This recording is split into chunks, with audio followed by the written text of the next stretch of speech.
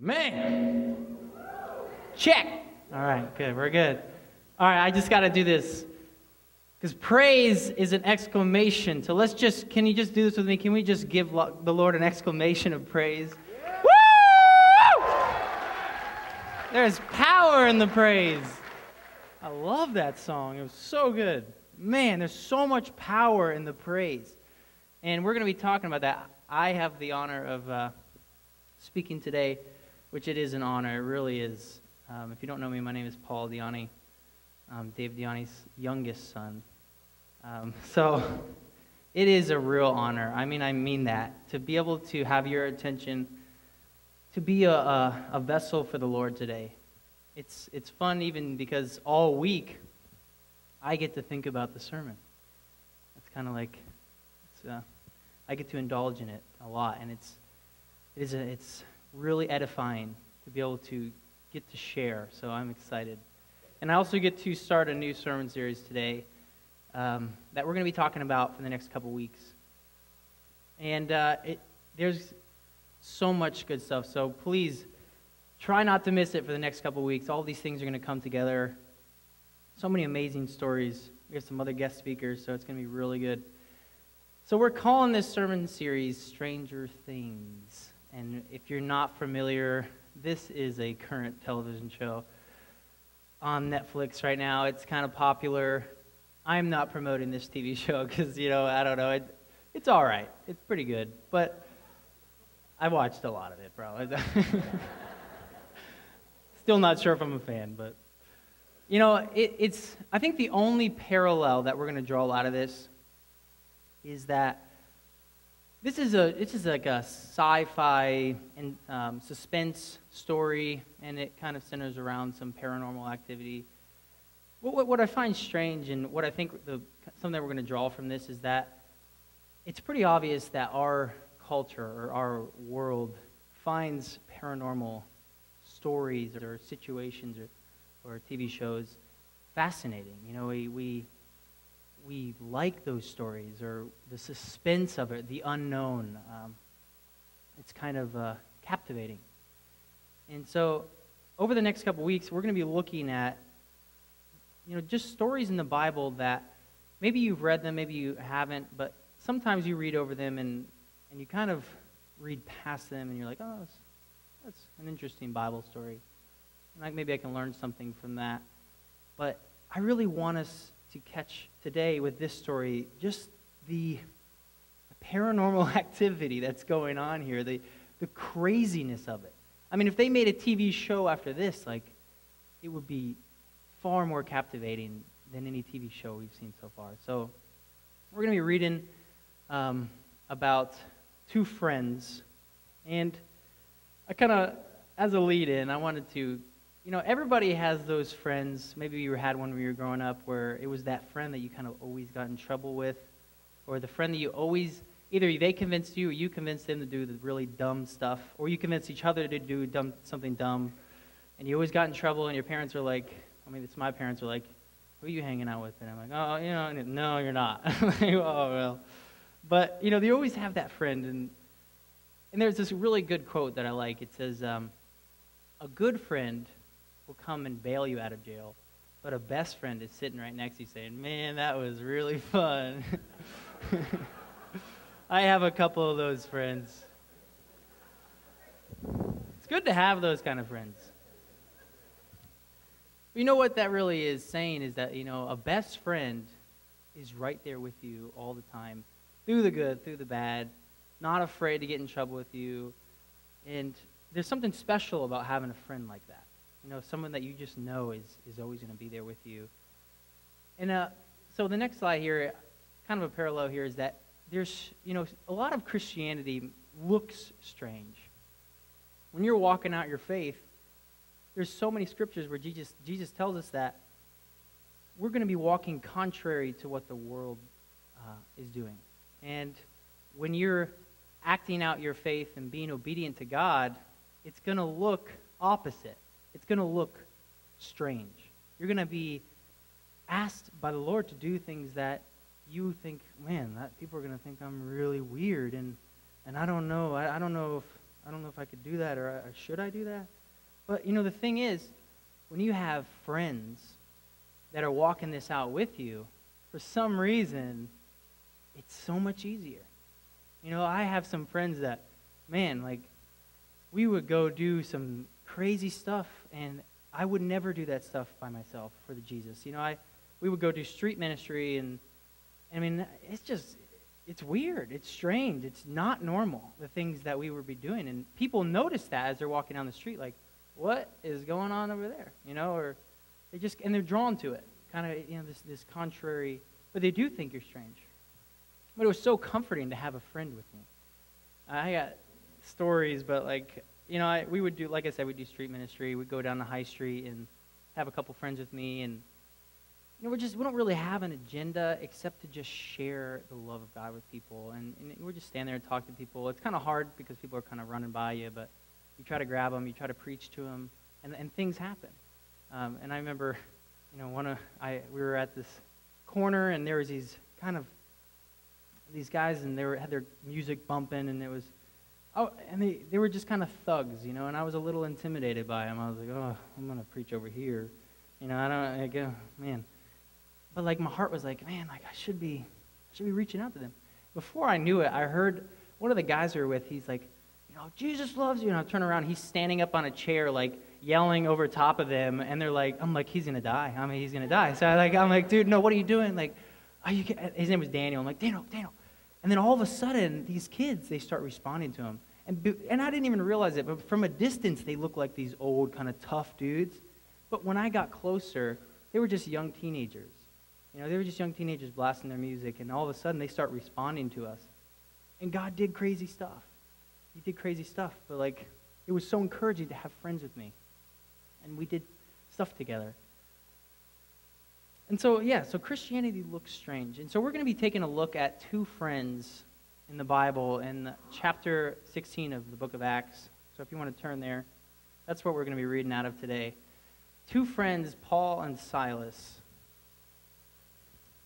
Paul and Silas. You know, they actually, Paul and Silas didn't have much of a history together. Uh, they, they, prior to meeting each other, Paul was doing ministry and he went back to the apostles and he's telling the apostles about all the good stuff that's going on. And they said, you know what? Let's, we got to get some of our best men to send with you. So they just pair Paul up with Silas, um, Barnabas, and another guy. And they pair them up, say, you guys go out together. And almost instantaneously, you can tell that there was this bond that took place between Paul and Silas because they were on mission together. They had the same common goals, and it bound them together as friends. There's another quote I kind of think is good. It's, it's like, along with that friendship thing, it's like if you're walking in the rain by yourself, it's kind of miserable. But if you're walking in the rain with a friend, it's an adventure. You know, all of a sudden it turns into something special. You're like, man, we're suffering, bro. It's freezing cold, and oh, man, but I got you. You know, and this turns into a good story. And so Paul and Silas, they were on mission together. They were bound together through the good and the bad. But they were pure missionaries. You know, they were just saying, God, where do you want us to go? I want to preach the gospel to the entire world. Where do you want us to go? And so Paul had this vision of a Macedonian man, and he said, All right, like the man was asking for help. And so Paul said, All right, that's where we're going. We're going to Macedonia. And he's like trying to get there, trying to get there. And they end up in Philippi, I believe, uh, is a city. And so they're preaching in Philippi. And so as soon as they get there, they go to the place of prayer, which I think is pretty strategic, you know. They go to the place uh, there was a spiritual place where people went to pray, and they met this lady, Lydia, and she's open to the Lord, and they start preaching to her. She gets saved, baptized right there. She has them over to their house. Her whole house gets saved. In a way, there's good stuff going on in Philippi, like great stuff. The, the gospel ministry is spreading. And then uh, the next couple days, they meet another character, and we're looking at um, Acts 16, verses 16 uh, through 24. And so they meet another character. It's a, it's, she, whereas, you know, Lydia was this wealthy woman of independence. She, you kind of get this impression that she had, her, um, you know, money. She had her own house. They meet another character here, and it's a slave girl. So let's turn to there. I'm going to read this. Acts 16. verse. Um,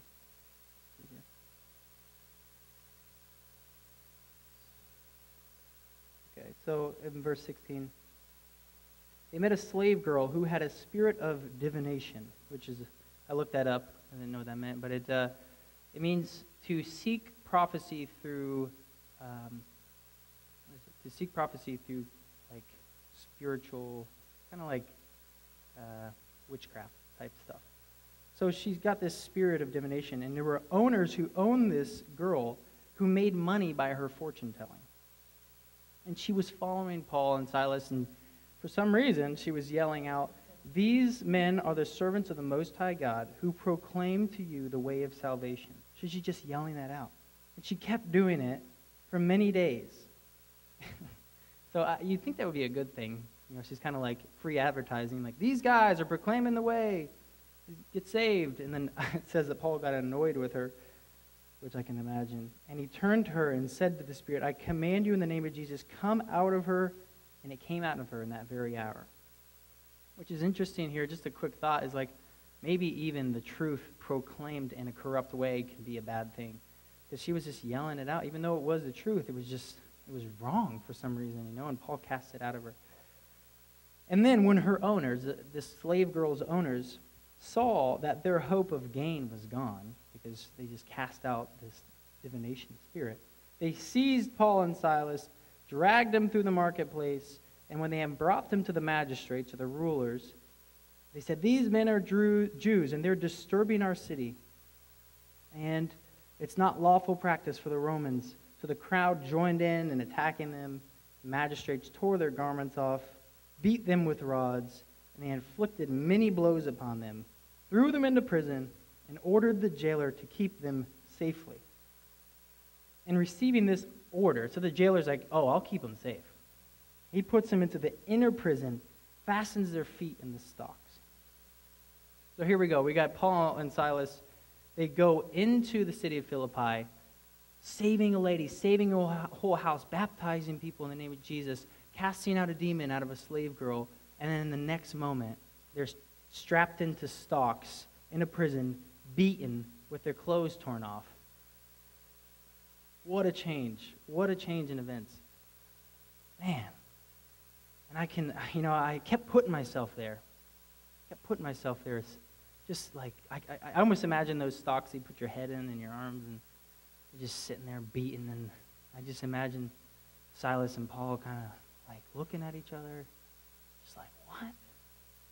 You know, confusing. They're missionaries. They're, they're proclaiming the good news, and here they are. In verse 16, oh, sorry, in verse 25. About midnight, Paul and Silas were praying and singing hymns to God, and the other prisoners were listening to them. I mean, that's a great response to this situation, right? I mean, they're sitting there and they're just like, oh, we got nothing else. What could we possibly do? So they start praying and singing hymns to God at midnight. I mean, I'm going to state the obvious and say that probably wasn't the easiest prayer and praise to get started. I don't know which one of them started it, but they're sitting there thinking, and maybe Silas is like, Oh, amazing grace, so sweet. Paul's like, Shut up. and the other prisoners, you know, they're listening to them. But I actually, I, I, I telling you, I was picturing this. I, I'm pretty sure that they were shouting they weren't whispering timidly, they were shouting praise and prayer. And I think that it says they were praying and praying and praising. I think that their prayer was intermittent with their praise. And I think the difference there is to say that in their day, they probably, there was the book of Psalms, and the Jews, they were Jews, they probably had 150 Psalms memorized, you know, and, so they had these praises memorized, and they're probably singing their psalms because they had to memorize.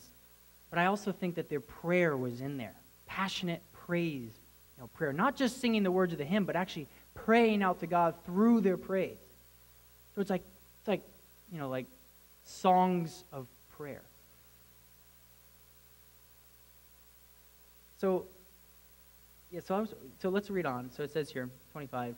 The other prisoners, prisoners were listening to them, and suddenly there was a great earthquake, so the foundations of the prison were shaken. And immediately all the doors were opened, and every bonds were unfastened. And when the jailer woke up and saw the prison doors were opened, he drew his sword and was about to kill himself, supposing that the prisoners had escaped. So let's, like, whoa, right? Whoa. Okay, so this is why I think that their prayer wasn't timid. Because I can imagine now, like, you know, they're singing, it's midnight, and they're praying, and all of a sudden, like, they're just singing so loud, oh, Jesus, love you. And then the earth starts shaking. And the prisoners, or other prisoners in the, you know, the jail are like, what is happening? But this is a strange earthquake, right? It wasn't, I mean, maybe this part of the world had earthquakes, but this wasn't a normal earthquake. Normal earthquakes break stuff and collapse stuff, destructive. This earthquake was like, like a freeing earthquake. It like broke their chains and doors flew open. Like, that's not a normal earthquake. I mean, this was, this was crazy. This was weird. This was paranormal. You know, if you didn't know Jesus and you were listening to that, you're thinking, whoa, there's like a ghost in here or something. You know, this is weird. So the first point I want to make is that the jail was shaken. The jail was shaken. Your prayer is a powerful spiritual weapon. It is so powerful that we underestimate it. And sometimes it's easy to go to church, you know, and it, it can be hard. It's easy to go to church, but it's hard to get our praise started at church, you know, and we're kind of like, all right, here we go. I'm going to get into this. And when the worship's good and everything feels right, I had a good morning, I'm going to try to get into this praise. We know it's hard. I admit that. It is hard for me. Um, but I think that we need to think about this a little differently that maybe coming to church is a time for us to practice getting into this, the, the habit of praise. This is a place for us to come together and, and practice, to get better at praising God. Because I don't think that this was the first time that Paul and Silas started praising. Like, they weren't thinking, oh man, we better learn how to praise now that we're in prison. No, like, they had been praising. They had a habit of praise, it came out of them naturally. It's easy to sing when the sun is shining, but you need a song in your heart for when it's the nighttime. So uh, there's a couple, there's a quote here that there's a, a story of army men who were taught to disassemble their weapon blindfolded so that if they needed to put it back together in the dark, they could do that. You know, and I think that we need to start thinking in the same way with praise. What about the story of Daniel? Think about the story of Daniel. It was said that he prayed three times a day.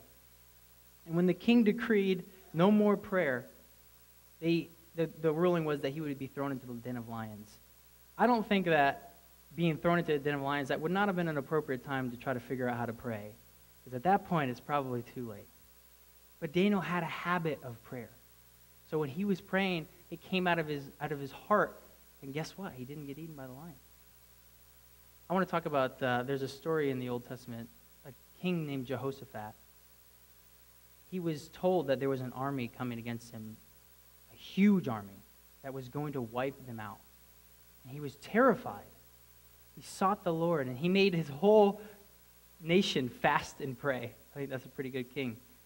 But he made his whole nation fast and pray. He was scared. But the Lord said to them through a prophet, He said, like, the Lord's going to deliver us. So what the king did was he got his best holy garments and he put it on his best men to sing praises in front of the army as they went into battle. I mean, I don't know about you, but I'd probably not want to sign up for that position because you're the only weapon you have probably is your tambourine and your trumpet. But no, actually, I think, in fact, potentially, this was the highest honor. Every man wanted to put on those garments and walk in the front of the army. And they sang. It's such a simple song. I love this. There's nothing. Just give thanks to the Lord for his steadfast love endures forever. It, that, that's what they sang. And guess what happened when they showed up to the battlefield? the entire army was dead. What? Like, what? That's unexplainable. That's amazing. God showed up. Praise. That, I love that the king put them in the front because he understood something. He understood something. That praise is the most powerful weapon that we have. And the jail was shaken at this. This praise was powerful. And I, I wanted to say this that earlier this week, I was thinking about this, and uh, I was driving home, and I was kind of like, my mind was a million places. And I was like, I just want to worship. So I just turned on one of my favorite CDs in my car. Oh my gosh, I got so fired up. I mean, I was just yelling in my car. I didn't care who saw me around my car. I actually thought I saw my brother in law in front of me. I was like, oh my gosh, she probably thinks I'm so weird. But I didn't care. I didn't care. I was so fired up at this music. And here's the point I want to make here. When's the last time that you got excited about something? When's the last time you were like, yes, I love life? When's the last time you did that? I love you, Lord. You cried out with all your heart. Do you, I mean, how, maybe your sports team won, and you're like, oh, like, go Broncos, or something, you know, whatever. That's, you know, like that. That's kind of. I don't. I don't really get into sports that much, so I'm not really. I like watching sports, but I'm never like on the edge of my seat, yelling, screaming. Honestly, if I think back in my life, there's not very many things that I get that excited about. And I think it'd be pretty easy to fall into a habit of just kind of like, yeah, like life's life's pretty good. I'm excited, you know, everything's, I love Jesus. I like church, you know, work's good. I would go to Cedar Point, ride some roller coasters, and scream a little bit. Ah. Exciting, I'm so excited about life. Man, I just not, I, oh, oh, that hurts. you know, that's why we, maybe we, we turn to things that get us excited. Maybe, maybe we like watching the scary movies or whatever, or maybe you're an adrenaline seeker. She's like, oh, I got to get excited. I want to get excited. But that bar keeps getting higher, but you're like, that's, maybe that's, that's your outlet. You know, you're like, I got to gotta do something crazy. I got to find that. But I'm telling you right now, I was getting excited when I started praising. I was like, woo! In my car. I didn't care. It was exciting. I was so fired up at the sound of praise in my heart. You know, I wasn't, it's not about like singing a song on key. I was just yelling. I, I, there was no like melody singing. I was just yelling. I was just excited. We can get fired up with adrenaline every day when we sing praises. This is the highest adrenaline ever. And these men, chained and beaten, started singing so passionately that the ground shook. I've never praised that hard. You know, I've praised pretty hard, but they started praising so hard the ground shook and the chains broke and the doors flung open. Man, I'm excited because every time I feel a little bit down or if I feel oppressed or my mind's jumbled, I'm just going to turn on my favorite worship music. You know, there's nothing like starting the day with some praise. Man, and we were all meant to praise. There isn't a single person in here. Um, if you think that, oh, well, pray, singing is not for me, tell me it's not about singing. You were made to praise. And the reason I know that is because there's a psalm that says that every tree will sing his praises. If a tree can sing, then you can sing. The whole earth will sing. And you're a part of that. We were meant to praise. And if we fall in line with that, like, start your day with little praise. Just if you, if you, who drives to work? Who drives to work? Serious. I just want to see. 90% of us? 100% of us? you don't. You walk here. you drive here sometimes. if you drive to work in the morning, Start your day with a little praise. It will be the better day. I promise it'll be a better day. I can guarantee that because of the scripture. It'll be a better day. You will have more victories that day. The jail was shaken by this praise. The second part of this is that you see that the jailer was shaken. So if you look back at this scripture here, in verse Um, 27, the jailer woke up, saw the prison doors were open. He drew his sword, was about to kill himself, supposing that the prisoners had escaped. But Paul cried out with a loud voice, Do not harm yourself, for we are all here. What does he mean they're there? And the jailer called for lights and rushed in and trembled with fear and fell down before Paul and Silas.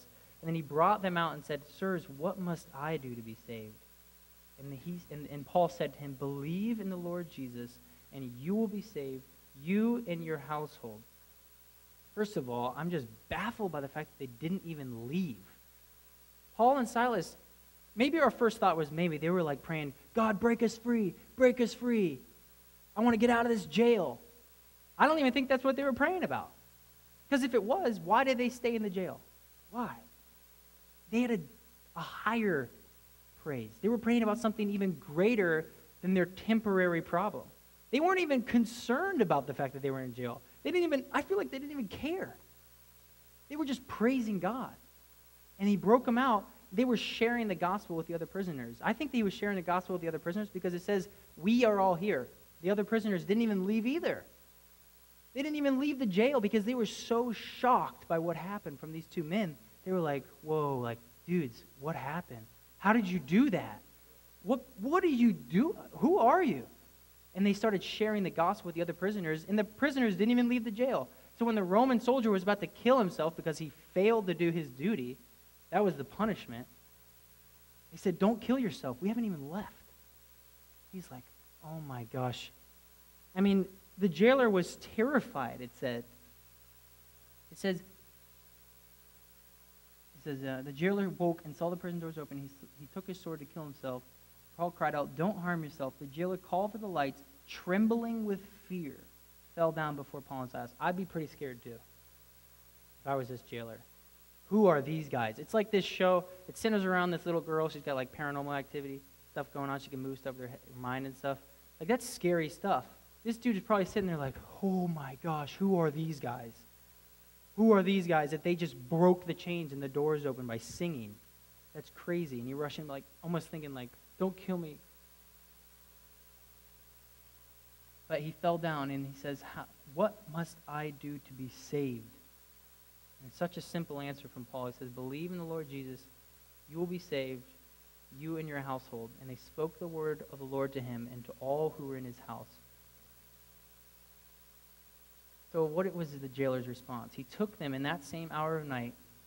The jailer washed their wounds. He went from beating them and putting them in stocks to washing their wounds and inviting them, or wash their wounds. He was baptized at once, he and all of his family. He set food before them, and they rejoiced, his entire house, that had all believed in God. So, a couple points here. Man, the, the message that that Peter preached to the jailer was believe in the Lord Jesus and you will be saved. If you flip back the in Acts chapter 2, um, Paul, sorry, Paul was preaching, and there was the same response from the crowd. They said, what, was, what must we do to be saved? And his response to them was just as simple, but there's a little bit here. He says in Acts chapter 2, 36, he says, Repent and be baptized, every one of you, in the name of Jesus, for the forgiveness of your sins, and you will receive the gift of the Holy Spirit. For the promise is for you and for your children and for all who are far off, everyone whom the Lord our God calls to himself. And I think that when he was saying that to the jailer, he was saying the same thing. Repent, you repent in the Lord, believe in the Lord Jesus Christ, and you will be saved, you and your whole household. For the promise is for you and your children and all who are far off, everyone. And the jailer just thinking, whoa, like this is First of all, for me, for me, he probably felt like a bad person. He says, for you and your children and everyone. And guess what happened? The jailer gets saved. His whole he gets baptized. His whole house gets baptized. You know, I think one thing that we've probably I don't know what's happened, but for some reason, when we call to salvation people to receive and believe in the Lord Jesus, great, but then we're kind of like, baptism. Well, you get baptized on your own time when, whenever you feel like it's right. But like we don't read that in scripture. We read a lot of the times, like with Lydia, she was baptized right then. With the jailer, he was baptized right then. And, and keep in mind that it said midnight. So we're talking like 2 a.m. by now. There, Paul and Silas have wounds, but like they felt the need that right then was the time to get baptized. A very inconvenient time to get baptized. But that was that's what they felt like. It was like, believe in the Lord Jesus, be baptized. And then his whole house was baptized. He woke up his kids. Get up, getting baptized. Right now. We are believing in the Lord Jesus. And here's, what, here's what's even more amazing. For the promises for you and your children, when a father of a house is saved, it affects the entire house. The father believes in the Lord Jesus, and his house follows. I believe that's true today. When a father is pursuing the Lord, his house is affected by that. We need fathers who are pursuing the Lord. And if you are a father, I'm not yet, but if you are a father pursuing the Lord, you are affecting your house and your generations after you. You're establishing something. This jailer's whole lineage was changed in this moment.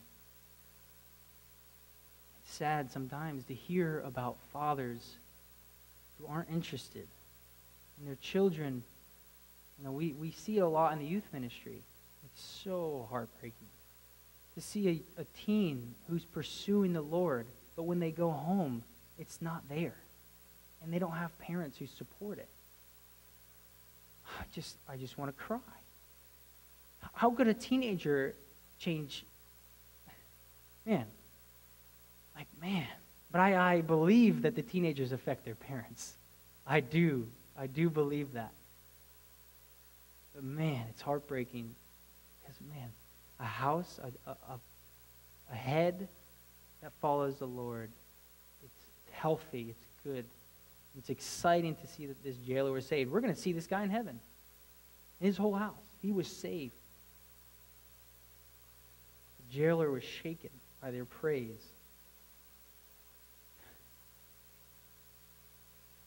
So, last point is that the city was shaken. The city was shaken. So, because if you keep on reading, let's read on here, um, verse 36. But when it was day, oh man, i got to finish up. I know I'm going a little late. You guys have got five more minutes Is that okay? Are we okay? close it up. No, not five more. Two more minutes. Okay, we're going. He said, two, one more minute. Okay, the magistrates say to the police, let those men go. And because they didn't want to deal with them anymore, they're like, we're done with these two guys. Paul said to them, wait a second. They beat us publicly, condemned us. I'm a Roman citizen. He dropped that bomb. I'm a Roman citizen. You threw us into prison, and now you want to get us out of here secretly? He said, no way. Let them come down and take us out. Walk us out. So the magistrates came down. They were afraid. They heard that they were Roman citizens. They came down to apologize to them, took them out, asked them to leave the city, but they didn't even leave the city. They went back to prison to visit Lydia and the brothers and encourage them. Man, the city became shaken. They had the rulers of the city walking with them, you know how big of a deal that was for Christianity in Philippi? Christianity just got legitimized.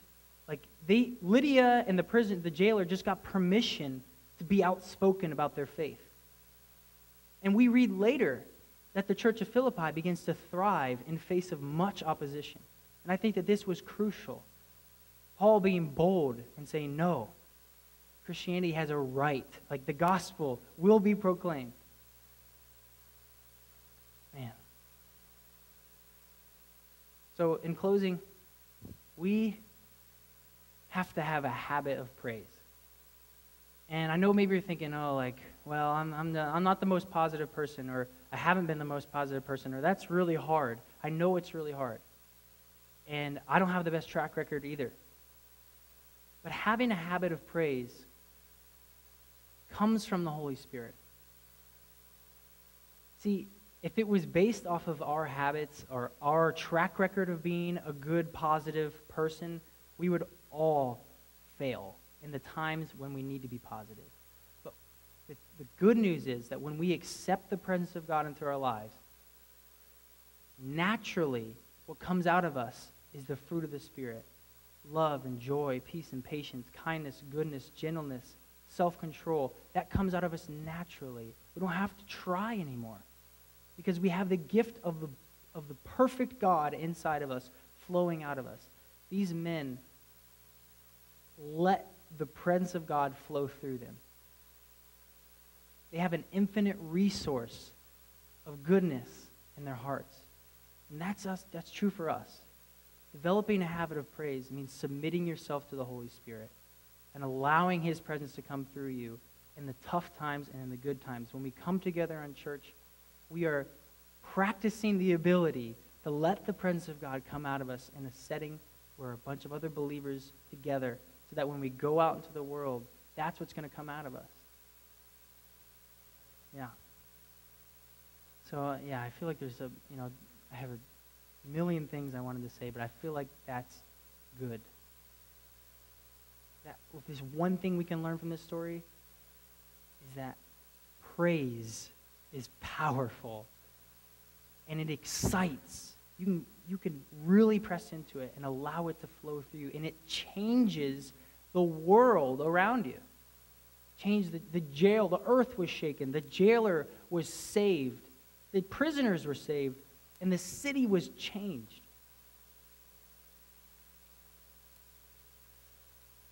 So I'll just close this in prayer.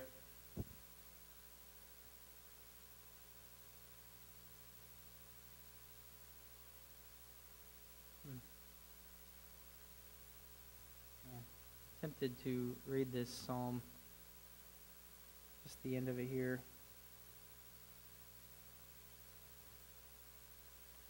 Let the heavens be glad, and let the earth rejoice. Let the sea roar in all that fills it. Let the field exult and everything in it. Then shall all the trees of the forest sing for joy, because the Lord, for he comes. The Lord is coming. He's coming to judge the earth. And God, I just, I thank you, God. I thank you that, that we're forgiven, Lord. And that your presence enters our lives, that when it comes out of us, God, it comes out as a praise and it shakes the world around us and it excites our spirits, and that we're rejuvenated by it. God, I hope that something I said struck the hearts of somebody in here. If anything, Lord, we, we're thankful for your scripture, that it breathes life into us and reminds us of the power of who you are, and that we can walk in that power and authority on earth.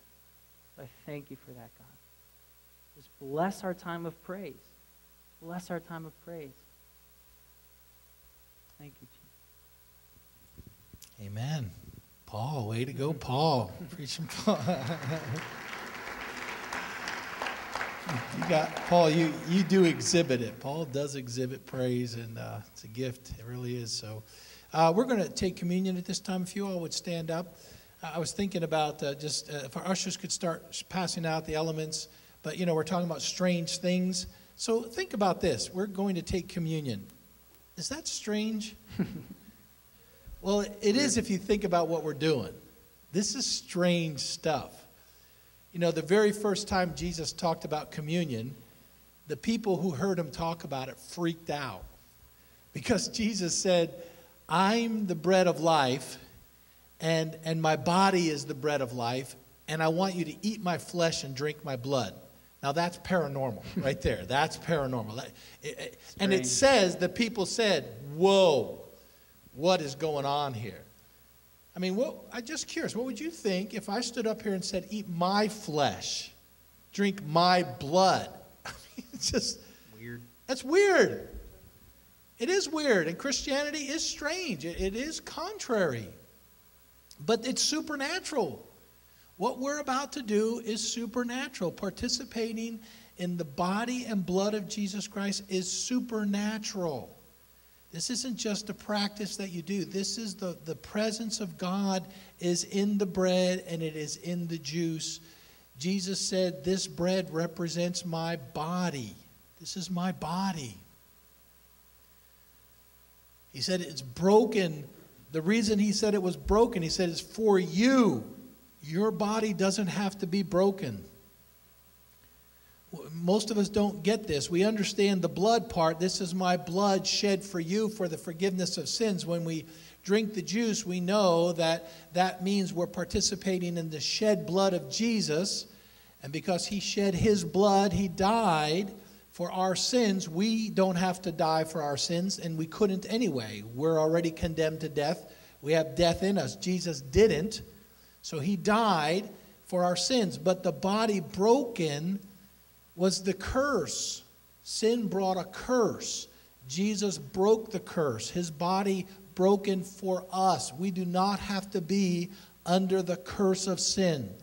This is supernatural. It is truly supernatural. We partake of this because we believe with all of our hearts as we eat the bread and drink the juice that we are participating in that sacrifice. It becomes us, and we accept it, and we accept the forgiveness of our sins, and we accept the healing and the, and the restoration from the curse of sin that we might live the life that God ordained for us. So we're going to share in the elements together and then we're going to pray the Lord's Prayer. Is anybody, want to bring it up here? Yeah.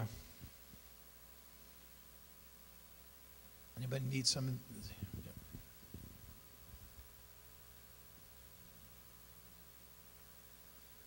So let's take the bread. Jesus said, This is my body broken for you. Let's eat it.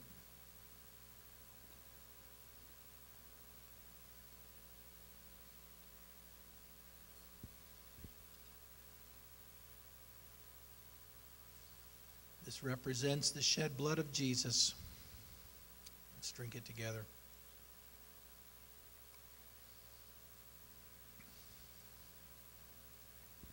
Now, as a church, we're going to pray the Lord's Prayer together. But I do want to announce we have the right one today.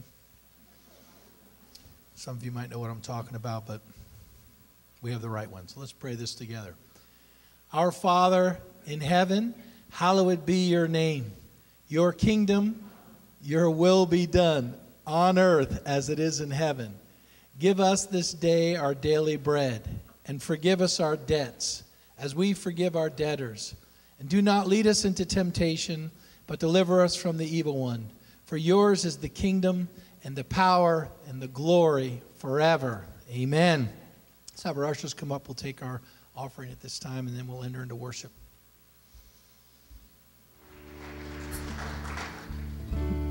A couple really obvious things that hit me. The first one is that, uh, remember, the young adult study, we talked about being the workmanship of God, being created by God. Like all of creation, you were meant to praise Him with your lifestyle and who you are, and you, your praise brings Him joy.